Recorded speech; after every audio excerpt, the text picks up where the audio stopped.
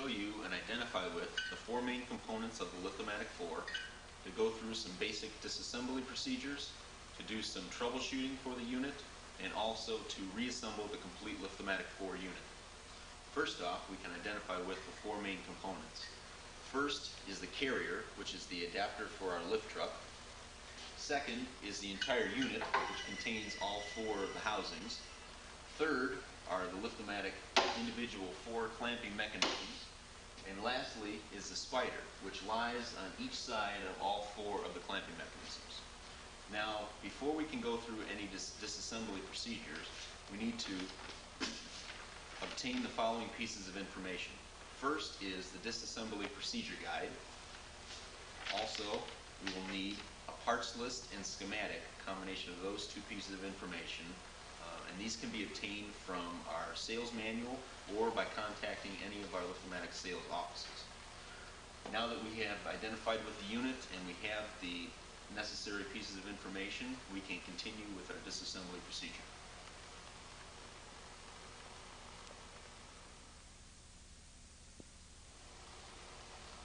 Now that we're ready to begin our disassembly procedure, we need to identify with the proper tools needed for this process. First, an ordinary size set of medium-sized vice grips.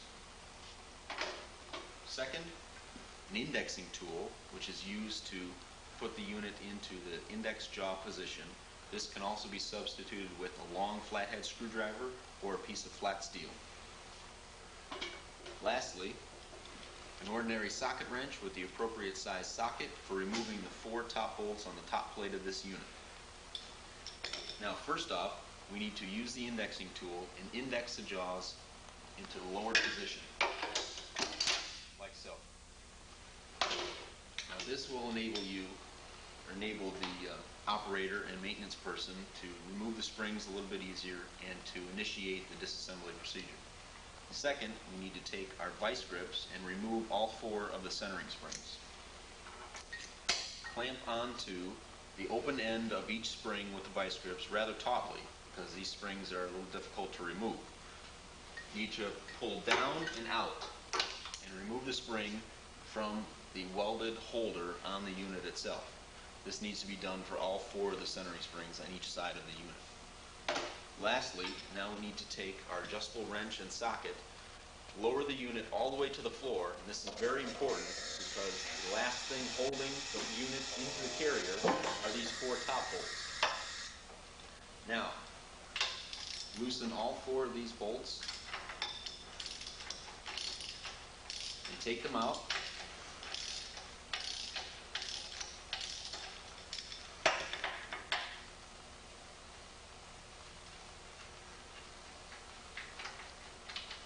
Now you can take the carrier and the top plate off of the unit itself, put the carrier into a rack or onto some empty drums, and that will enable you to work solely on the unit of the Liftomatic floor.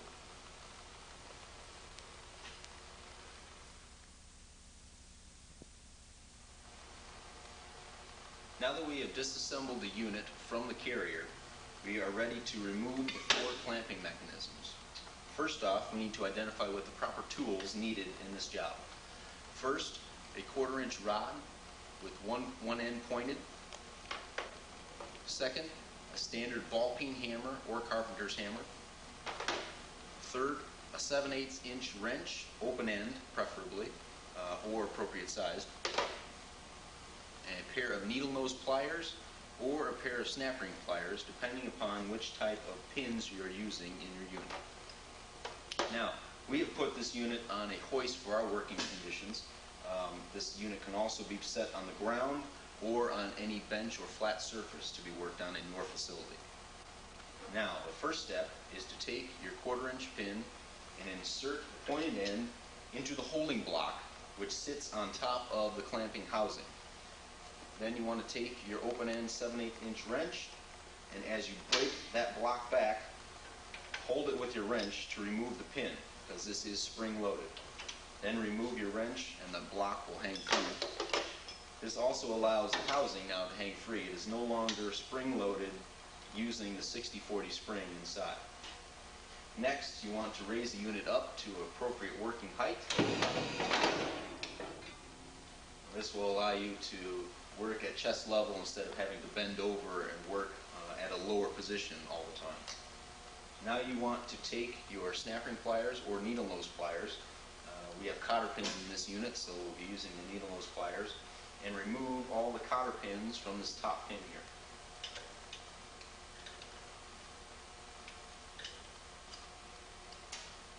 Now that that is complete, you need to take your hammer and rod and tap out this top pin.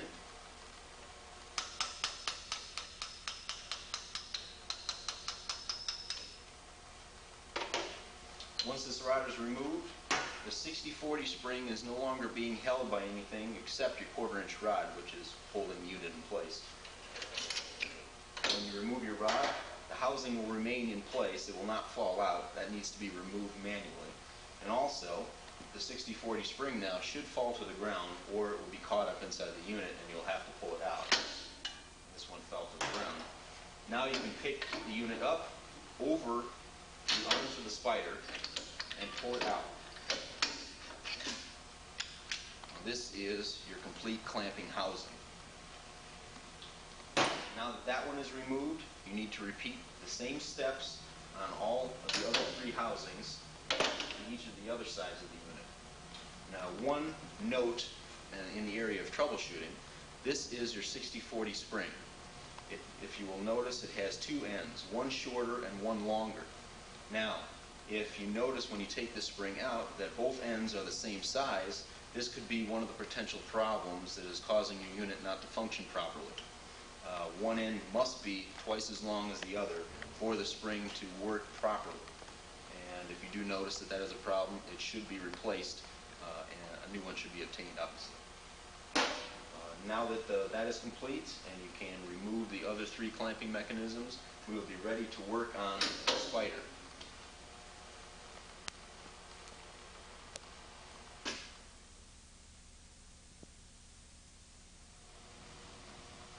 As you can see, we have now put our unit upside down on our workbench so we can remove the spider from the unit frame itself. Now, the first steps that we have to go through are to remove the lower and upper blocks. First, we'll need the following tools for these steps. A set of two adjustable wrenches. uh, The size does not matter. We have one large and one smaller here. Or an adjustable wrench and an Allen key, depending upon if you have Allen bolts in holding these blocks in instead of uh, standard bolts. Also, a ball peen hammer is required and uh, a quarter inch rod with a pointed end for knocking these bolts out if they're a little tight. And also, uh, a rubber or hardened plastic ended mallet for removing the upper and lower blocks. Now, our first step will be to remove four bolts in the lower block and the four bolts in the upper block. There are eight bolts total. So we'll do that now.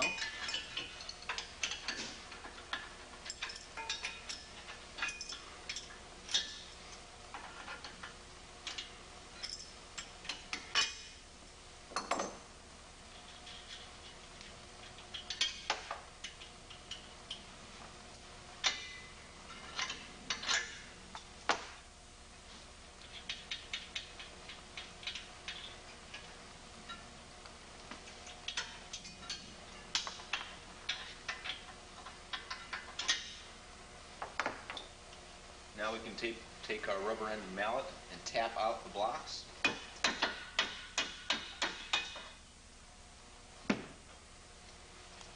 Now this upper block is going to present a little bit more of a problem because it is further pushed down into the frame and you will probably need to tap each side a couple of times so that it does not bind as you're taking it out. As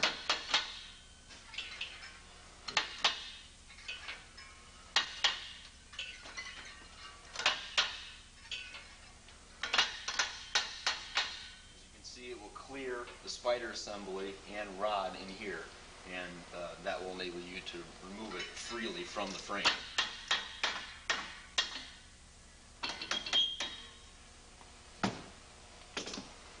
This is an upper block, which is put in first as we repair the unit, as we put it back together.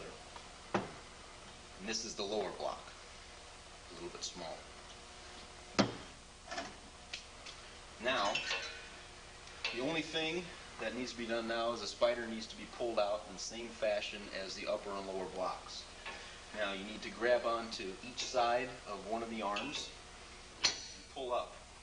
Now if your spider locks into place and you can't pull it up any further, it is being held by the holding pawl down below. So you need to push it firmly back down towards the base plate until you hear it lock and then pull it up one more time. And that will release it from the pawl assembly. And it can be slid out from there. This is your spider assembly. Now, the only remaining component inside the unit frame itself are the pawls and the block and post that they sit in. As you can see, the, the pawls are spring-loaded and hang towards one side, and they will always hang towards the side of this frame that is painted red, as you can see right here. Now, if that block and pawls need to be taken out for any reason, they need to be put back in so that they hang towards this red side. This is very important and needs, needs to be remembered if the pawls and block need to be taken out for any reason.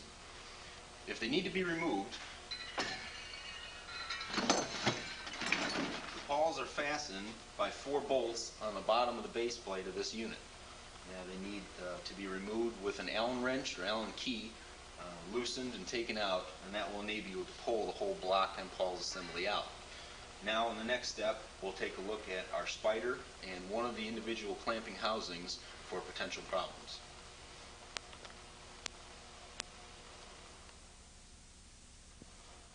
Now that we have removed the spider from the frame, we can identify with the major components within the spider assembly. First, the 140-41 pin. Next, the 140-35 pin. The 60-38 spring. The 70-11 pawl cam stop. And lastly, and most importantly, the ratchet cam. This is what actually does the indexing as drums are picked up and released. Major things to look for within the spider assembly. Be sure that pins and or springs are not broken or missing. And be sure if any of the components are removed from the spider, they should be put back as they are here, as they were when you started. This will prevent future headaches when the unit is completely put back together, uh, and you may have or may not have potential problems depending upon how it is put back together. Next, we will look at one of the individual clamping mechanisms.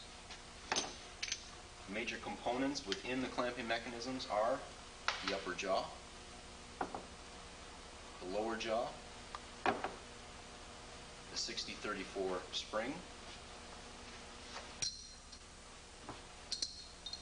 the two number 7018 links, and lastly, the part number 2121 small cantilever. All these components should be analyzed and checked within this unit to make sure that they don't have excessive wear, they're not broken, and or they are not missing. This will uh, enable you to troubleshoot for the major potential problems within the clamping mechanisms. Once this is done, uh, the parts, new parts can be put back in, the clamping mechanisms and the spider assembly can be put back into the unit frame.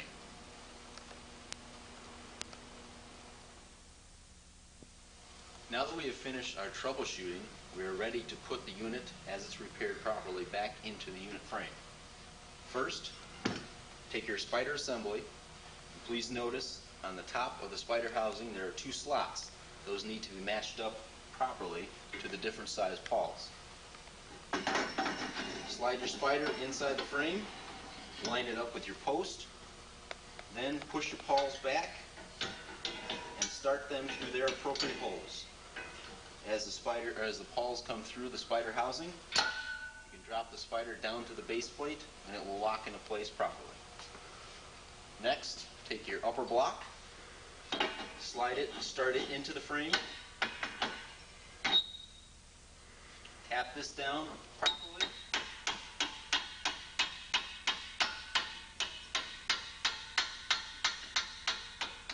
Line it up to the holes where the bolts need to go through.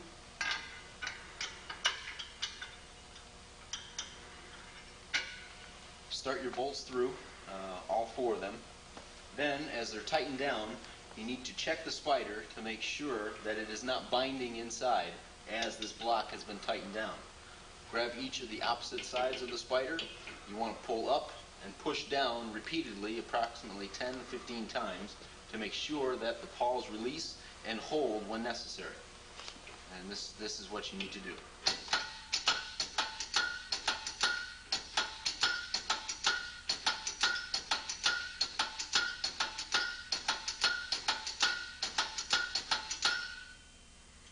Does not seem to bind on anything inside. Parts seem to float freely. It has a little bit of a free movement, so this should be fine. You can tighten your blocks down the rest of the way. You can put your top block in, start its bolts, tighten them down accordingly, and you'll be ready to put the unit right side up. We'll put it back on our hoist, we'll insert the four clamping mechanisms, and then we'll be ready to test the unit and make sure it works properly.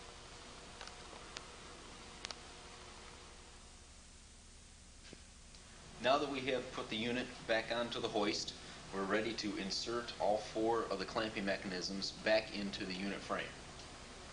First, you need to take your clamping mechanism, slide it underneath this top plate and over the spider arms.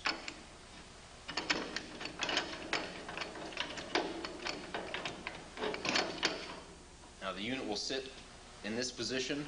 It will not fall out. It's locked pretty much into place. Now what we need to do is we need to take your 16035-1 pin and start it through this hole back here.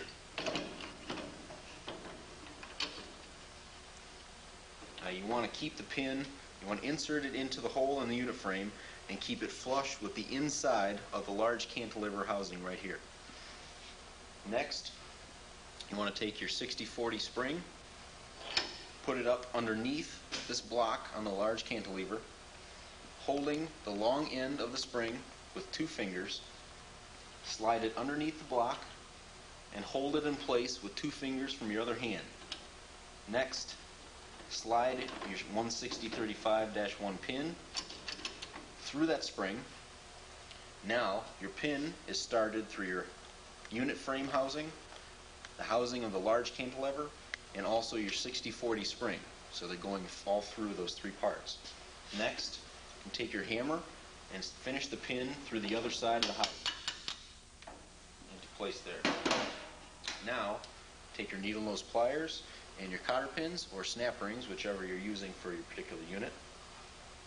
Guide them through the hole on the other side of the pin and lock them down accordingly.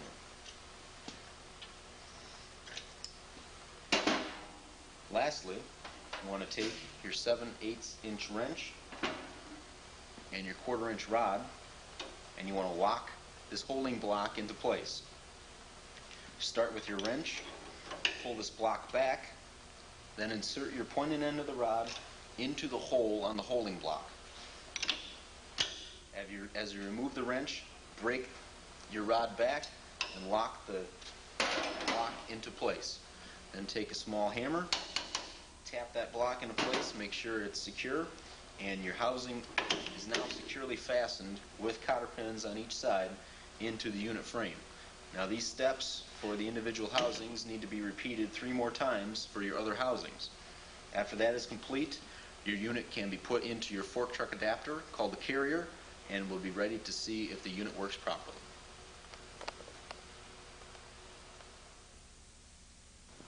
As you can see, we have put the unit back into the carrier, the adapter for the lift truck. We have done this by setting the unit on the ground, bringing the carrier, centering it over the top of it, putting the base plate back on the top, and inserting the four bolts to the top of that top plate. Um, after lifting it up, you need to make note that for access to the pawls inside the spider assembly, the spot on the unit that is painted red needs to be matched up to the rear right corner from the fork driver's perspective of the carrier. And that is important to remember when putting the unit back into the carrier. Uh, with that in mind, the last thing that needs to be done is take your vice grips, clamp onto the opening end of the spring, centering spring, pull the spring down and push it into the holder that is welded onto the unit. Like so. All four springs need to be put back on the same way. This will give you movement in each direction for centering onto uh, four drums. Lastly, before you can put the unit back into service, is to spread each of the housing with a light grade WD, WD-40 or lubricating oil. And also, on the very top of the unit, there is a oil cap in between the four bolts on the top plate. This needs to be filled with uh, a light grade oil until it drips through the bottom into the clamping mechanisms.